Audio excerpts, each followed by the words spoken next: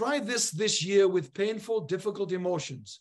Say to these emotions, You are welcome here. You are welcome here. Say that to the pain. You'll be surprised how much it instantly diffuses the pain.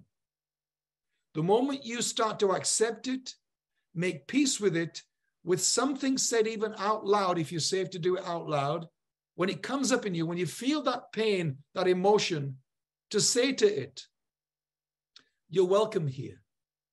I'm not afraid of you. What have you come to teach me? What can I learn here? How will this make me a better human? How can I help other people with what I'm going to learn from you?